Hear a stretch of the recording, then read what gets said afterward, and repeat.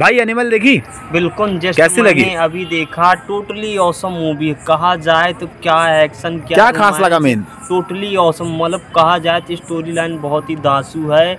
रणवीर से कपूर का जो एक्शन वो दमदार। अलिन कपूर फादर के रोल में बहुत अच्छे जी। जी रहे नहीं तो काफ़ी लोग जो कंपेयर कर रहे थे कि मतलब ये कबीर सिंह के लेवल की फ़िल्म होने वाली तो उससे ज़्यादा अच्छी थी कि नहीं थी?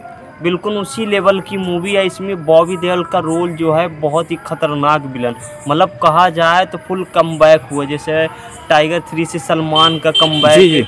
गदर से सनी पाजी का कम तो उसी तरीके से बॉबी देओल ने भी कम बैक कर दिया टोटली औसम मूवी कहा जाए तो इसमें काफ़ी चीज़ें मतलब गाली भी रोमांस भी अगर जो कहा जाए तो फैमिली के साथ मूवी देखने लायक नहीं है। और कहा जाए तो टोटली औसम अब फ़र्स्ट डे की ओपनिंग कम से कम पचास करोड़ की लेगी ये मूवी अच्छा इसमें अनिल कपूर का काम कैसा लगा? बहुत ही ज़्यादा धांसू है कहा जाए तो फुल एंटरटेन जो वार होती है जी और रश्मिका मंडाना काम कैसा लगा? काम एवरेज है। उनका मतलब उतना खास नहीं है साइड रोल में है। बाकी तो और रणबीर कपूर का काम? उनका काम तो एकदम खतरनाक है। कहा जाए तो संजू के बाद बेस्ट मूवी है एनिमल उनके करियर की। पाँच में से कितने स्टार देंगे? पाँच में से पाँच। Okay sir thank you.